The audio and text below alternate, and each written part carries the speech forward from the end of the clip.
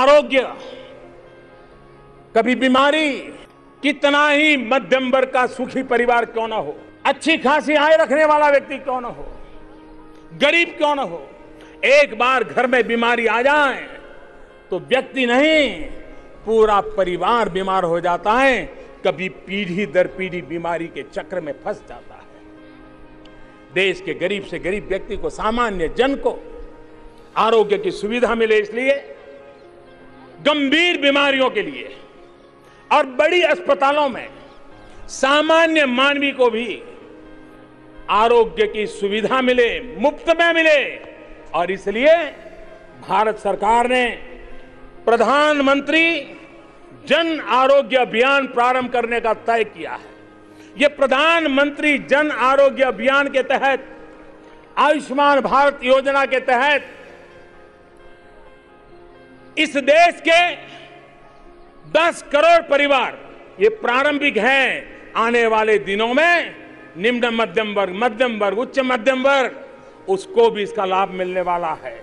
और इसलिए 10 करोड़ परिवारों को, यानी करीब करीब 50 करोड़ नागरिक, हर परिवार को पाँच लाख रुपया सालाना, ये हेल्थ एश्योरेंस देने की योजना है।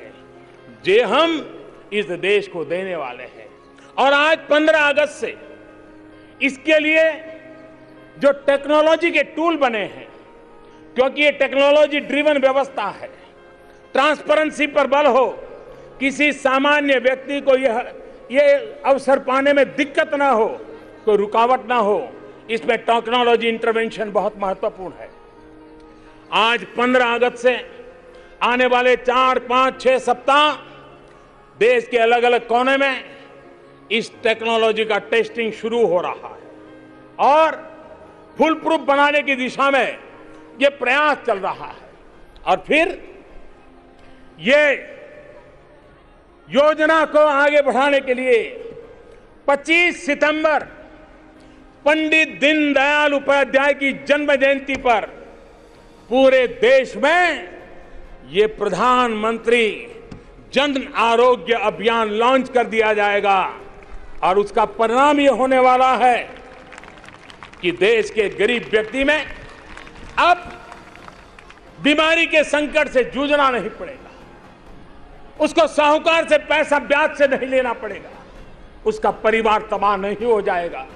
और देश में भी मध्यम वर्गीय परिवारों के लिए, नौजवानों के लिए आरोग्य के क्षेत्र में नए अवसर खुलेंगे। Tier two, tier three city में नए अस्पताल बनेंगे। बहुत बड़ी मात्रा में मेडिकल स्टाफ लगेगा। बहुत बड़े रोज़गार के भी अवसर पैदा होंगे। भाइयों, बहनों, कोई गरीब गरीबी में जीना नहीं चाहता। कोई गरीब गरीबी में मरना नहीं चाहता।